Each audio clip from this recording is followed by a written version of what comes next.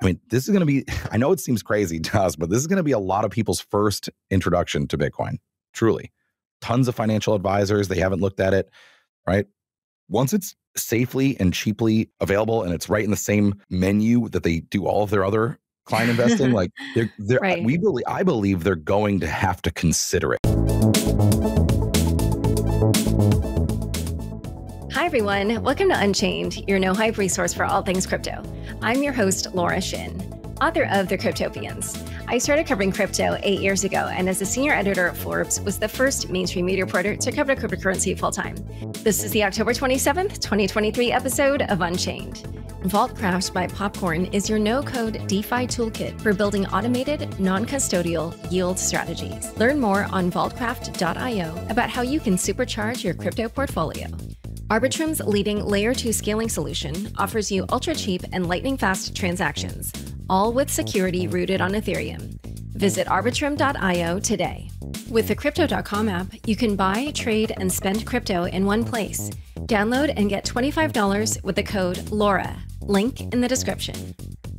Today's guest is Alex Thorn, head of firm-wide research at Galaxy. Welcome, Alex. Yeah, hey, Laura. Great to be here. Big fan.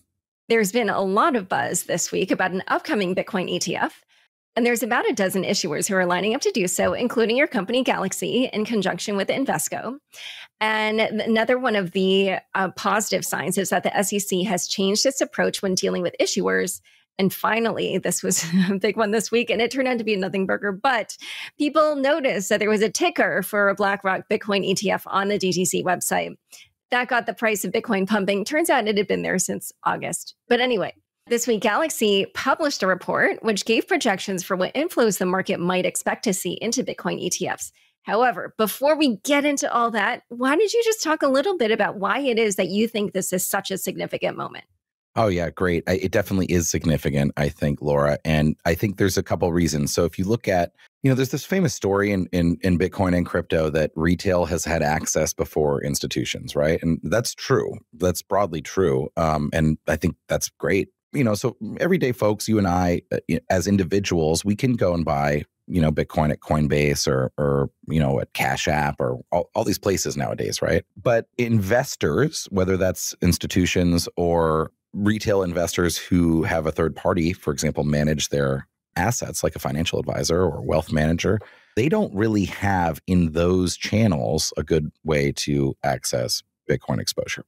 So, in particular, it, the the one that really doesn't. So you can still, you know, if you go and sign an over the counter trading agreement at like your Fidelity account, maybe you can buy some of the over over the counter trusts, right? But it does require an additional agreement. It's not literally right there you have the cash settled futures, but they they have roll cost and they succumb to decay, which makes them actually quite poor for longer term investing. They're not bad for short shorter term stuff, but if you think about like financial advisors, they're not trying to, you know, many of these advisors may, you know, oversee the portfolios of 10, 20, 50, 100 clients at the same time, right? So they're not going to be actively, these are much more about modeling and then maybe rebalancing or like moving, you know, changing your secular or cyclical view and then adjusting all the portfolios, right? You, you really can't be like day trading the Bitcoin cash settled futures ETF.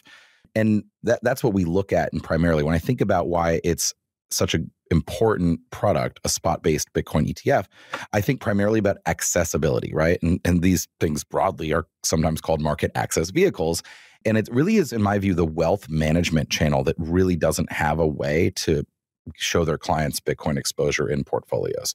Some of these managers, right? They they're affiliated with banks or broker dealers, right? So we call them the bank BD platforms. Those are your big Wall Street banks, right? If there's a financial advisor is at the people have that are at, at these banks like they they are relying upon the bank or broker dealers platform decisions and approvals of investment products that can be offered to then the end clients through these financial advisors. So in some cases they may not add a product because um, it's not suitable it's too costly it's it's I don't know, risky, who knows what. Like some of them don't have like cannabis ETFs because they just like don't believe in giving people access to that. It's totally fine, right? But they're beholden to what the platform decides. And none of them that I'm aware of allow, for example, the cash settled futures ETFs or the over the counter trust, except for in specific exceptions. Like literally, you'd have to like agitate and go get an exception right? And then maybe they'd allow because the client wants it, and if it's enough, like maybe they'll do it. So that accessibility issue is is very much solved with an ETF, right? Because ETFs are incredibly brilliant and and impactful financial products in general. They've overhauled how retail and and advisors invest in the markets. They're great wrappers. They can access they, they they function effectively as if they're just a standalone security but of course they can be uh, an index they can be actively managed or passively managed they're kind of like a mutual fund with instant liquidity instead of like daily redemptions right? So they're really yeah. great products and they're so they're everywhere. So to me like that that's the main issue and and if you're if you can think about it like financial advisors also they don't put their clients into cash settled futures derivatives based ETFs right? Like they they might put them in like a gold backed ETF because it's gold right? Like they and they and they or commodity covering ETF but again like you, they need a, a, a, a, relatively low fee a safe and accessible vehicle like that's right. what this ETF yeah. these ETFs will be so it basically solves a problem that exists for a pretty big addressable market. So something that's interesting is that I recently had Matt Hougan of Bitwise and James Seyffart of Bloomberg on the show. Yep. And they both say that they anticipate a Bitcoin ETF will arrive by January 10th, 2024. And they said that that's the latest that it could arrive. But I heard you say in an interview that you would expect that it would even arrive this year. So I was wondering why you thought that. Yeah, great, great and to be clear, like I mean, I'm I'm absolutely following like James Seyffart and Eric Balchunas at Bloomberg Intelligence. I think they've been spot on. I, I mostly agree with their analysis. I think that probably is right. Um, and and you know, just I'm sure they talked about this, but that's because that's ARK's final 19B4 approval denial deadline. And the thinking is like, well, I mean, if you think they're going to ultimately approve an ETF or the ETFs this cycle, well, all of the other 19B4s, primarily for everybody that refiled in June or filed for the first time in the case of BlackRock, they're all in March, right? So the idea is like, well, why would the SEC deny in January and then approve in March? Like, what's going to materially have changed during that two month period? So the thinking is, well, like they would they would do them all by ARK's final date because that's the current right. First final deadline.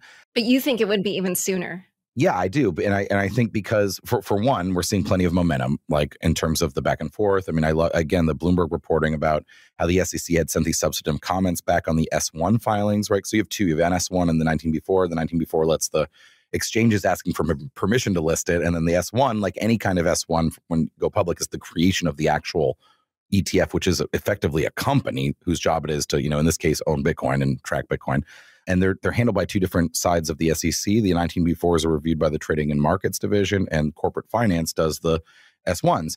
And in, in all the prior cycles, they've never even offered any kind of comment on the S1. So the mere fact that they apparently mm-hmm. reportedly did, and then of course you've seen some issuers file amendments since then to their S1s, with pulling forward data to the present, occasionally making some interesting disclosure changes and updating how pricing will work and whatever. But but again, like benign updates, right? So the combination of them coming back then looking at the original S1s and comparing the newer amendments and seeing, trying to glean some um, information about perhaps what the SEC has been communicating with them, not seeing any giant red flags or major changes, mostly seeing like dotting the I's, crossing the T's, some operational stuff, literally in some cases adding like disclosures around the risks of a hard fork of Bitcoin. Like, I mean, it's pretty benign right. stuff, right? Um, so that gives us reason to believe we're getting closer, right? But then also like there's very clear simple process reasons, right? You have the holidays, right? So they they really like January 10th is going to be like a couple days after people come back from New Year's. Like it, it seems unlikely to me that they're going to like leave some work for like the last 2 or 3 days. My my guess is they'd probably want to wrap this up before the holidays if I had to guess. Like uh, so that that's the okay. main simple reason and and then you couple it with all the other momentum that we're seeing and you know back and forths and positive signs. Okay. Yeah, that's that sort of makes sense. I mean, just from a very practical perspective, that right. you're right. I could see people not wanting to leave that. All right. So now let's get to your report. Tell us first how you approached answering the question of what the yeah. future inflows into Bitcoin ETFs could be, like what assumptions you made, et cetera. Yeah. So, um, and we did make assumptions, and and we we think and we attempted to make them very conservative assumptions, right? So we're when the the top line numbers that people are taking from this, and I'll just state those briefly, which is that we think there'll be 14.5 billion in inflows year one of an ETF, um, ultimately going to like 38 billion in year three. So not cumulative, like 38 billion of inflows in year three. That is intended to effectively be a lower bound because we're, and I'll tell you why it's based on the assumptions and the total addressable market that we're capturing. But first, the TAM, right? So we're starting with this top line number, which is the wealth channel. That's why I, I talked about it before. Again, we we have some discussion about accessibility and why we think that's the the segment or channel that will benefit most directly from the creation of this product. Because again, we can go buy Bitcoin right now. I could pull out my phone, beep beep, buy Bitcoin, right? Mm-hmm. But you know, like people with wealth, like have wealth managers, and they don't like just also separately manage a different Bitcoin position out here in the, some app, right? Like they no, they need their advisor to have everything right there, right? So for Bitcoin to be adopted in those portfolios, or even considered for adoption in those portfolios, it has to be sitting there adjacent as an option, right? And it's that channel that I described earlier that doesn't have it. That's a $47 trillion market in the US of AUM and we broke it down. So it's $27 trillion at broker dealers, 11.9 at banks, and 9.3 what we call RIAs, registered investment advisors. These are all the advisors on these platforms are RIAs, but what we mean by that are independent investment advisors. These are advisors who are not affiliated with the broker dealer or bank, but and, and most likely they use like Fidelity, Pershing, Schwab. All of those those brokerages have have white sort of white labelish platforms that make it easy for an advisor to manage multiple sub accounts and all that. So they're they're at those places. And that comes out to what I guess 48.3 trillion is what I'm looking at. So not 47, but uh, right around there, right? So that's a big possible number, right? And then we start looking at the list of broker dealers, banks, and RIAs by sorted by size. So we, we didn't look at literally everyone. There's a lot of them, right? But like we looked at like all the big ones and then we started handicapping how quickly we think they would add support for the ETF. So, for example, those independent RIA platforms like Fidelity has, right, where I worked for 12 years, so I, I know a little bit. I remember this platform. Um, they're they're probably going to add it pretty fast. This is not a thing where Fidelity for those, sure, those Fidelity. Yeah, I know. True. yeah, they, they they almost certainly will. Um, and but they those platforms do not. It's not the same level of approval uh, they don't care that much what the RIAs invest in in the scheme of things, not nearly as much as those that are literally affiliated with the bank's platform, right? Like they walk around with like a, you know, I don't, I don't want to name any banks, that's why I haven't said any, but like the, the big banks, they all have uh, have wealth management divisions, and those financial advisors they work at the bank, right? And the platform is run by the bank, so like they they take suitability questions in much more carefully. Like I said, they have to approve and decide what products can even potentially be offered by their whole advisor um, universe, right? So they'll be slower to adopt the broker, the banks and broker dealers than the independents, right? So what we did is we started with you know like a ramp up in terms of what of that AUM in each channel is going to become addressable on each year, right? So we said only 25% of the broker dealers and banks AUM. I mean, we're using, I don't know, we don't know the number of accounts, but we'll just use AUM as the total, like, sort of addressable capital market only 25% will actually turn on the ability to add the ETF into a portfolio on their platform in year one, right? So that now brings down the the total addressable market. So we're no longer at, you know, for for example, for broker dealers, we're no longer at 27 trillion. We're at 6.8 trillion of addressable capital in year one, right? So, and we did that for each of them, and you can see there's a graphic in the report that shows this ramp for each of the segments, right?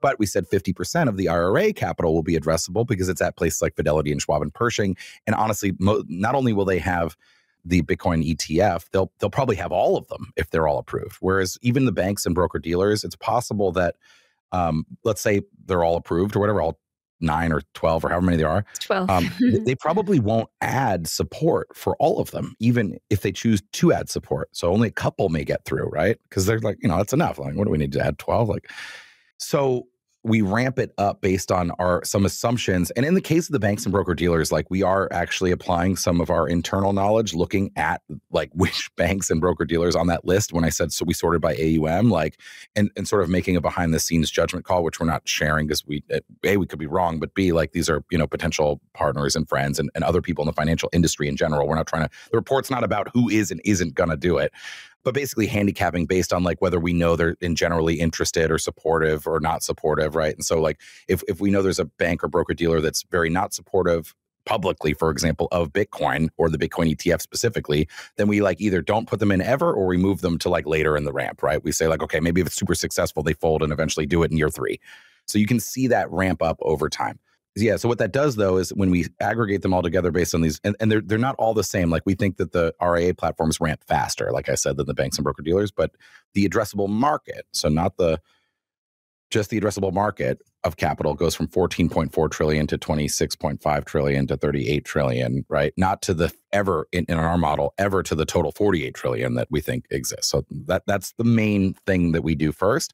And then just real quick, we make two more assumptions to then obviously not all of the 14 trillion that could is going to put all of their 14 trillion in there. So there's two other questions. What portion of that capital will actually decide to allocate something and then how much will they allocate, right? And so for the first question, we called it average percentage of assets adding BTC exposure. And we just stayed with a flat 10 throughout everywhere. We're just saying, look, one in 10 decide to put, put in something.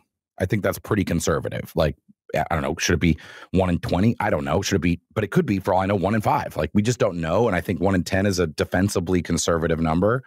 And then we look at, well, how much then? What is the average percentage allocation? And here we went with 1%, which we have a separate report that goes deep into portfolio Bitcoin portfolio allocation strategies. And one is a good, solid number that historically has been both great from a volatility standpoint, low, right? But also can provide really good benefit to your portfolio. So so that brings it down to 14.4, 26.5, 38, right? So and year one, two, three. That that's For, how we did it. in billions, just to yes, clarify. in billions right, of, in, of inflows. Yeah, that's because right. one percent of the 14 trillion. All right. Exactly. So in a moment, we're going to dive deeper into um, the comparisons and projections that he made in this report. But first, a quick word from the sponsors who make this show possible. Arbitrum stands at the forefront of innovation as the premier suite of layer 2 scaling solutions, bringing you lightning fast transactions at a fraction of the cost, all with security rooted on Ethereum. From DeFi to gaming, Arbitrum One plus Nova is home to over 500 projects. And with the recent launch of Orbit, Arbitrum welcomes you to build your very own tailor made Layer 3, or an Orbit chain. Propel your project and community forward by visiting arbitrum.io today. Popcorn just made DeFi way easier with Vaultcraft, your no-code DeFi toolkit for building, deploying, and monetizing automated yield strategies in a few clicks. Forget spending months of R&D and capital when you can instantly launch your crypto fund with Vaultcraft on any EVM chain. From wallets and institutional service providers to non-DeFi degens, anyone can use Vaultcraft to supercharge their crypto portfolios with custom-tailored cross-chain yield strategies. Go to vaultcraft.io and start building back to my conversation with Alex. Something interesting in the report is that you made a comparison to gold, and I wondered what you can say about how um, the state of global investment markets in gold reflects on what might happen with Bitcoin. It's it's um this has been a question that's been around as long as we've been in Bitcoin. I'm sure you and Laura, right? Like what is the relationship between Bitcoin and gold? And um I think it says a couple things. I mean, I think first, even aside from the investment product world, which is what we'll, I'll really talk about because that's the purpose of our inclusion of it. Um, you know, whether Bitcoin can trade like gold in general, I think is a huge question. I think it's it's traded a little bit more like gold over you know more recently, although this has been something that's fluctuated back and forth. I think there's obviously reasons. I know your listeners know all this. There's reasons why I think it's reasonable on a fundamental level to compare Bitcoin and gold. They're scarce. They're non-sovereign, right? They're not. They have no liability. They're bearer assets, right? So they have those properties, and I think Bitcoin in many ways is kind of like gold with wings. It's like got the scarcity properties, but you can actually like move it around. Whereas, like, imagine trying to send a billion dollars of of gold. I mean, like you're gonna have to hire an army and some trucks to move that around. You know, like so I, I I believe in the long run it will trade more like gold. I hope we see that. Um, in general, I think it's it's got properties that make it like that.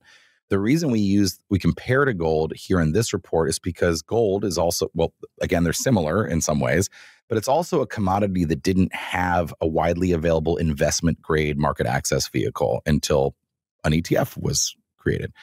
So that alone is i mean there's actually not that many to pick from like whole asset class that finally got an etf right? So we we went with that and i think in general we started comparing there's a lot of numbers here so i really encourage people to just read this section of the report but in general we started looking at um, what types of correlations there were between fund flows and gold price. So fund flows into those etfs after launch and what the spot gold do.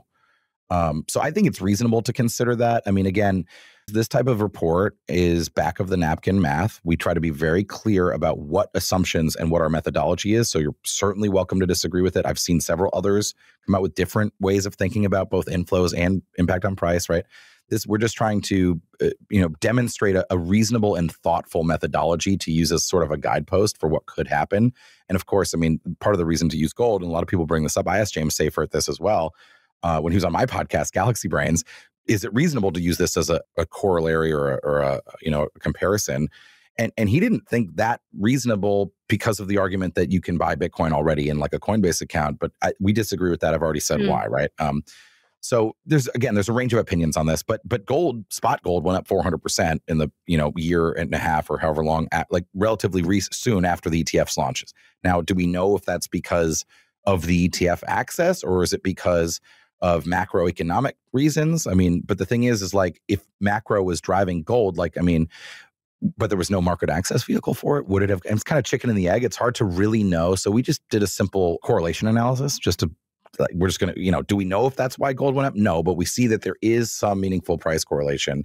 And then effectively we we handicap and look at comparisons in like the percentage market sizes and, and stuff like that to come at to a, a, an impact as what we think it will be on Bitcoin's spot price, you know, Which following was? that same path. We, we think 75% based on that first year number, up 75% Increase. just on those 14 billion flows. Yeah. And we and we have a a table that shows like theoretically over time like how, how, what what its price impact would be. And we did this on a monthly basis and then com- like you know um, annualize right at the end to show like what it would be. But again, right, and based on the price at that time, that would be about a forty-seven thousand dollar price. But essentially, are you do you think that it would be the same percent increase based on the launch the price at launch? So like you would redo the analysis at that time I think yeah I think we would read this analysis specifically starts at the price when we wrote the report um oh, I okay. think oh so uh, then you would still end up at 47k yeah, I, I think so. I, yeah, I, we didn't actually put the number if that's where seventy five percent gets us, right? Um, but yeah, I mean, I think I think it's it, we just rerun the start like the the starting point. I think we still see. I think we stand behind the percentage inflows because the it, it's about a relationship between flows and current price. So whatever the current price is, we can rerun it and see where we get. But look, I mean, I think that's pretty. Like for example, if we took today at what, like we'll call it 35k. Love to see it. You know, that puts us at you know 26,000 higher from here. So we're we're up into the low 60s, right? Basically, and to me, that I think that's reasonable. Like just broadly, forgetting uh, we we defend the methodology, I think decently in the report, right? I mean, the methodology is straightforward and and it's there. So feel free to disagree with it, but if you told me like an ETF launched and by the year after it was up in the 60s again not i mean this wouldn't even technically put it over the prior all-time high like to me that's right. pretty reasonable to to think about right yeah. like, i don't think that's crazy to think about yes. um so yeah that's where we landed i mean this is again I don't want to keep disclaiming, but it's a tough question. No one really knows, right? We don't know about timing for sure either. We don't even know if they will happen. It's just a thought exercise to to see what could happen. Right. Well, since I know that is, as you said, you know, more back of the napkin, there's a lot of assumptions. Let's actually talk short-term price movement because yeah. you tweeted, quote, options market makers in Bitcoin are increasingly short gamma as BTC spot price moves up. When you're short gamma and spot price rises, you need to buy back spot to stay delta neutral. This should amplify the explicitness of any short-term upward move in the near term. So I'm not going to pretend that I am a trading type person. So yeah. just go ahead and explain what that means. Yeah, so I sent a note to our clients and counterparties on Sunday night, and Bitcoin was about 29k with this information, and then and then I was sharing some of it also on Twitter. And what we're saying here now, clearly, like if spot goes up, the reason for spot broadly going up, spot Bitcoin, is ETF anticipation, right? That's you can feel it. You could feel it even over the weekend. You could feel it last week. There was obviously the head fake with the fake news story last Monday, but like, which I think really showed a lot. I mean, a lot of people in in the traditional world, more traditional world counterparties that we trade with, were caught off guard by how violent the move was on that headline. And again, this is a, a headline that was not true. It wasn't the actual approval. It was like a it, had it been had the underlying story been true, it still came from a crypto native, right? It wasn't like it was you know Bloomberg reporting it, right? So, and it's still Bitcoin jumped like you know, t- you know, eight percent in like fifteen seconds, right? like fifteen right. minutes, right? And I think that caught a lot of people off guard. So broadly, the reason for spot going up obviously is around this ETF anticipation. I think a lot of people are realizing it's closer, and uh, now you start to see the market repricing the likelihood of the ETF approval. The, the options market dynamics are really what caused us to launch on Monday. It's, so we're already bleeding higher, but the reason you may have, I don't know if you were watching, I happened to be watching at the exact moment. Right when we got to about 32,250, then we literally teleported to 35,000 like immediately. Now and came back down and moved, but like that move is caused by market makers and dealers who ha- who were forced to buy Bitcoin in size. And what I was saying on on Sunday was that if we saw Bitcoin bleed higher, the dynamics in the option market could cause an explosiveness like we ended up seeing. And the reason is because many people have been speculating on the Bitcoin approval, uh, ETF approval, and they bought call options, right? They own upside like they they have they they have exposure to the upside right because they're expressing a bullish view on bitcoin well the where are they buying that from? They're buying that from options dealers right? So the options dealers by definition are short upside right? And that gamma profile is telling you the amount of um of you know delta exposure you're going to have for every 1% move at a different price level. So the chart i shared yeah. shows that convexity. It shows the and you can see from the chart that the part where the the net aggregate dealer short gamma position is the highest or i should say lowest right the, we express it in the chart as an, a negative amount right is at was at 32,500 right so like that's exactly why right when we start to get that, that that's effectively maximum pain for those shorts right? Got and so it. they have to buy back spot, and that that really contributed a lot to the explosiveness of the move. Some of this dynamic is still at play in option markets, but some there has been some, you know, some I was a rele- releasing of some pressure by the by the move that happened and, and, the subsequent short covering that had to happen. But that really, I mean, that's that's why we really started to like zoom was like the the the options dynamics. Okay, yeah, so we might see more of that on the way to um, the launch of ETFs. Um, last quick question, you know, as we mentioned earlier, Galaxy and Invesco are applying to issue a spot Bitcoin ETF. So, assuming that you are approved along with these other ETFs, how do you intend to compete in what looks like it will be a crowded landscape? Um, unfortunately, I can't talk about any differentiation or stuff about Galaxy Invesco's um, Invesco Galaxy's ETF product, but I I will just say that for all of these ETFs, again, like when you think about, I mean, look, we don't even address um, like in, like IRAs, normal retail accounts. Like I have a I have an IRA. Like mm. maybe I'll want to put it'll be easy with an ETF on like a Fidelity or Schwab or whatever these platforms to put Bitcoin in an IRA. So we don't even go into what the potential for like retail adoption. Like our entire report is based solely on that channel. But if you think about it, mm. um, you know, the all, all, of the firms are clearly going to be, you know, producing educational materials, like they're doing all the things they do when they launch uh, and sell an ETF. And I, I think that it, there's going to be a lot of um, attention and, and effort paid by the issuers to explain and I mean, this is going to be, I know it seems crazy to us, but this is going to be a lot of people's first introduction to Bitcoin, truly. Tons of financial advisors, they haven't looked at it right? Once it's safely and cheaply available and it's right in the same menu that they do all of their other client investing, like they're, they're right. we believe, I believe they're going to have to consider it. Doesn't mean they do it. There could be plenty of reasons for suitability or otherwise why they choose not to allocate, but like they, they can't really get away now with saying, well, it's a bad product or it's not safe or it's weak. You know, Coinbase doesn't offer like advisor sub account or like what, like none of those excuses right. are going to work. Right. So I think there's, it's going to be exciting. All right. Well, it has been a pleasure having you on Unchained. Thanks, Laura.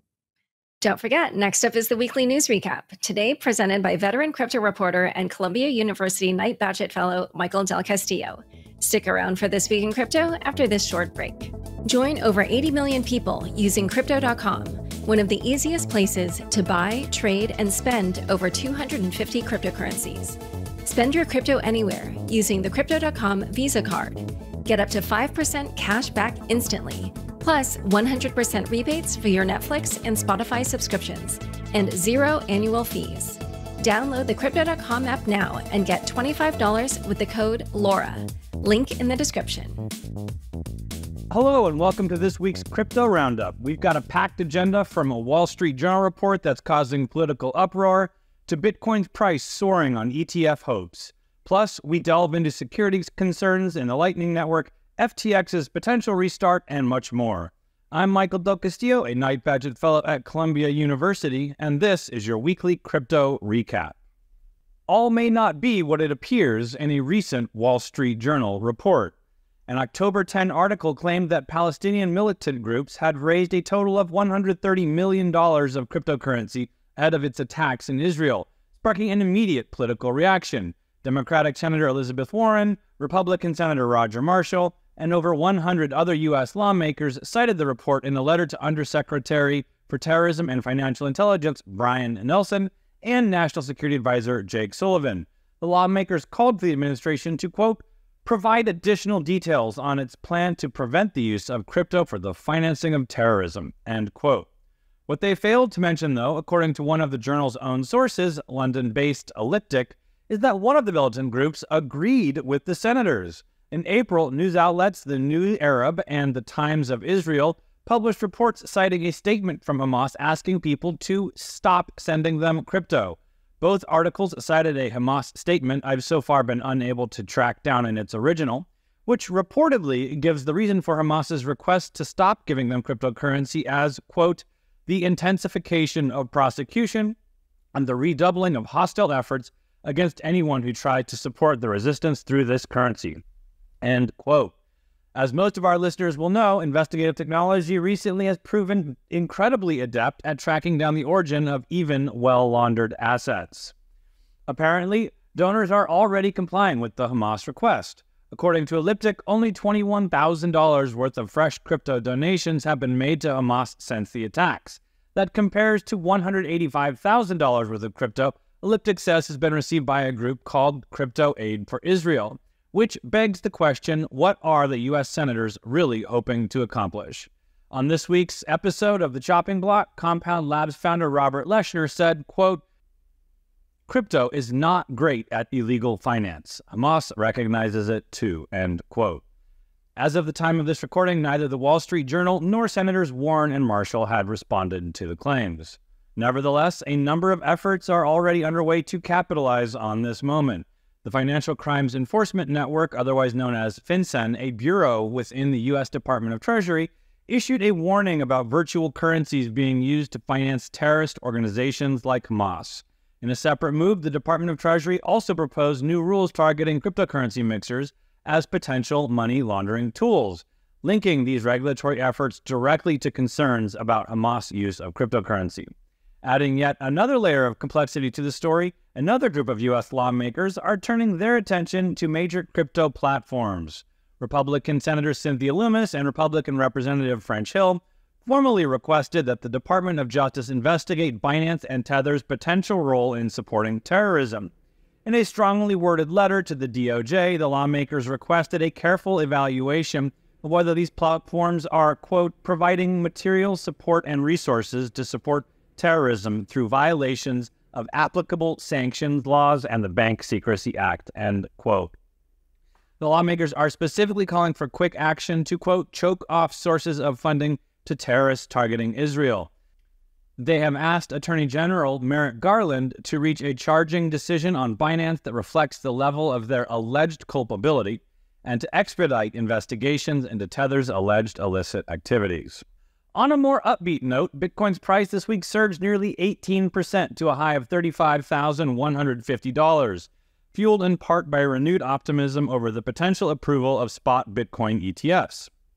The U.S. Court of Appeals for the D.C. Circuit this week filed paperwork asserting that the SEC must re-evaluate Grayscale's bid to convert its GBTC fund into a spot Bitcoin ETF. SEC Chair Gary Gensler said that the agency is actively reviewing multiple filings for spot Bitcoin ETFs.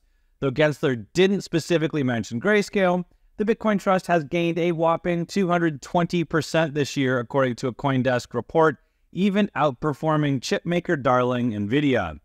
On this Tuesday's episode of Unchained, Bloomberg analyst James Seyffart said he expected an ETF could be approved by January 10 next year. That's less than three months away. Somewhat surprisingly, though, that didn't keep ARK Invest from offloading approximately $4.3 million worth of GBTC shares and $5 million worth of Coinbase.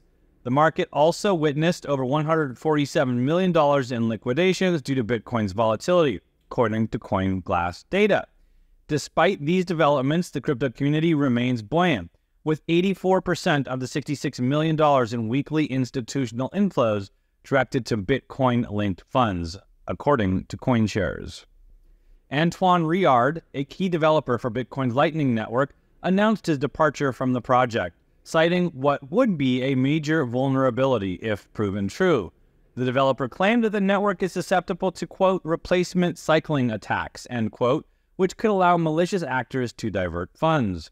In a post on the Linux Foundation's message board, Riard wrote that, quote, only a sustainable fix can happen at the base layer, end quote, suggesting that changes to Bitcoin's foundational layer might be what's necessary for a long term solution. After some chicken little skies following responses on social media, Riard claimed that security flaws were not, quote, intentional backdoors, end quote.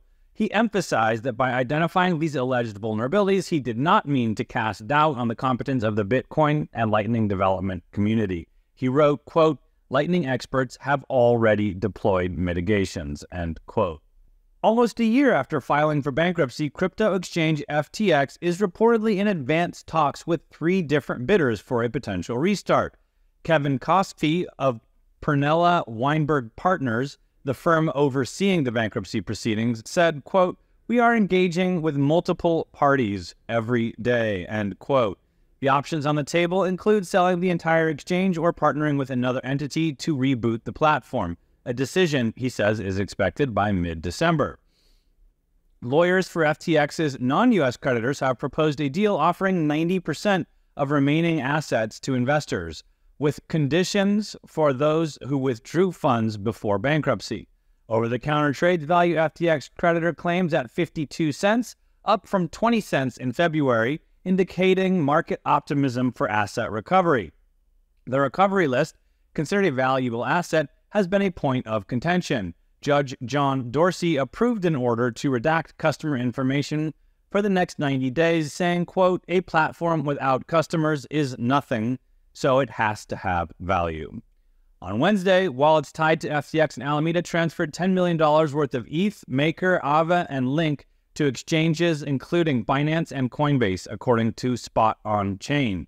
One possible explanation for the move is to liquidate those assets, putting downward pressure on their price. Nearly 11 months after declaring bankruptcy, crypto lender BlockFi has initiated the process of returning assets to its customers. The company announced on October 24 that it has officially emerged from bankruptcy, with its reorganization plan approved by all relevant stakeholders. Quote, BlockFi is pleased to announce that its bankruptcy plan is effective, end quote, the firm said in a statement. Customers at New York based BlockFi can now submit withdrawal requests through the company's website with a deadline set for December 31. BlockFi interest account and loan customers will receive their first wave of distributions in the coming months, according to the plan. The amount of recoveries for customers will be contingent on what BlockFi is able to recover from other bankrupt firms, including none other than FTX. In a whirlwind turn of events, Representative Tom Emmer, a staunch crypto advocate, secured the Republican nomination briefly for U.S. House Speaker, only to withdraw it hours later. Emmer had initially garnered support from House Republicans, receiving 117 votes in a closed door meeting. The crypto community was abuzz with excitement, but the nomination faced immediate backlash from former President Donald Trump, who labeled Emmer as a global rhino, that's R I N O, a derogatory term that means Republican in name only, and called for other Republicans to reject his candidacy. Matt Gaetz, a key Republican congressman, echoed Trump's sentiments, saying, quote, it's really important that the Speaker of the House have a good relationship with the leader of our party. That's Donald Trump, end quote.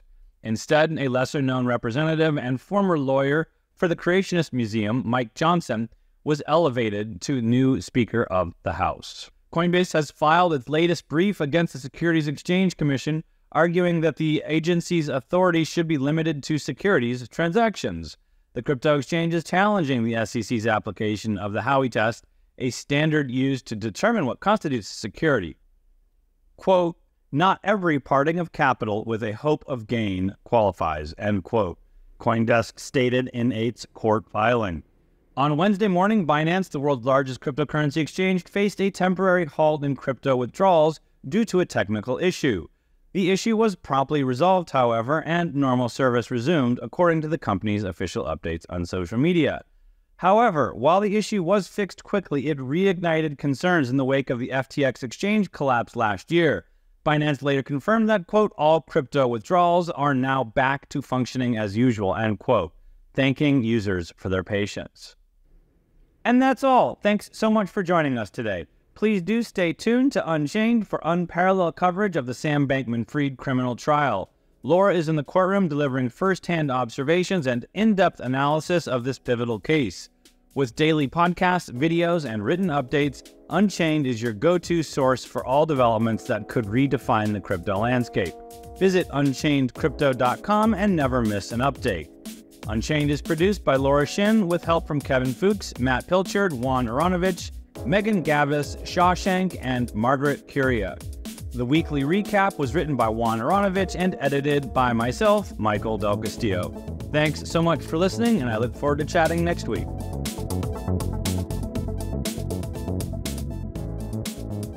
Unchained is now a part of the Coindesk Podcast Network. For the latest in digital assets, check out Markets Daily, seven days a week, with new host Noelle Acheson. Follow the Coindesk Podcast Network for some of the best shows in crypto.